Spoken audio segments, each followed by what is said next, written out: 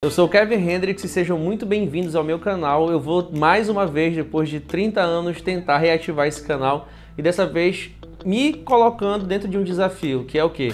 Produzir 30 vídeos, um por dia e lançar nas plataformas. Ou seja, vai ter vídeo aqui no YouTube e o mesmo vídeo, só que num formato um pouquinho diferente lá no Instagram.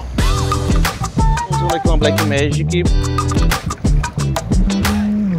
e agora eu quero voltar com tudo, mostrando um pouco do dia a dia. Até porque eu faço muitas coisas, então o desafio vai ser principalmente conseguir encontrar no meu dia a dia o um momento para poder gravar, falar com vocês, falar um pouco sobre técnicas voltadas para audiovisual. Tem muitas pessoas que eu vejo nas redes sociais que produzem conteúdo diariamente, ensinam outras pessoas a produzirem conteúdo, mas essas pessoas não têm aquela vivência de estar no set de filmagem, de estar tratando com o cliente, produzindo coisas diferentes em nichos diferentes de trabalho. Então, eu quero levar vocês junto comigo também para essa parte do business, né? Essa parte de atender clientes, de estar no dia a dia pensando e criando para plataformas diferentes, para clientes diferentes. E eu tenho muita coisa gravada que está na galeria do celular, que está aqui no computador, que eu ainda não mostrei para vocês e eu vou aproveitar esse momento para tirar um pouco esses vídeos da gaveta, falar um pouco sobre alguns momentos, algumas coisas que a gente já fez aqui dentro da produtora e mostrar um pouco mais do que rola ali por trás da câmera, dessa parte parte interna da produtora audiovisual. E nesse momento eu tenho dois grandes desafios. O primeiro é conseguir encaixar esse projeto novo dentro de todas as atividades que eu já faço no dia, dentro de todos os trabalhos e clientes que eu atendo. E o segundo desafio é desbravar um pouco mais desse algoritmo, tanto do Instagram quanto do YouTube,